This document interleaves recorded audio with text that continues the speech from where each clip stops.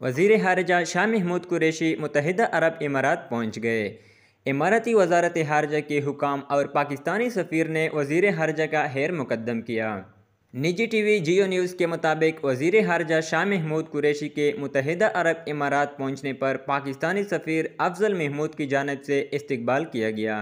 शाह महमूद कुरैशी दौरे के दौरान इमारती हम मनसब और अली इमारती क़्यादत से मुलाकात करेंगे, जिनमें कसरजहती शुबाजात और बाहमी दिलचस्पी के अमूर जेर बहस आएँगे। वज़ीर हारजा का दौरा पाकिस्तान और यू ए ई के मबैन अली सतह के रवाबित का तसलसल है।